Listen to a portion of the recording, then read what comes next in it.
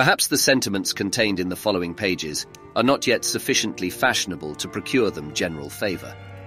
A long habit of not thinking a thing wrong gives it a superficial appearance of being right, and raises at first a formidable outcry in defence of custom. But the tumult soon subsides. Time makes more converts than reason.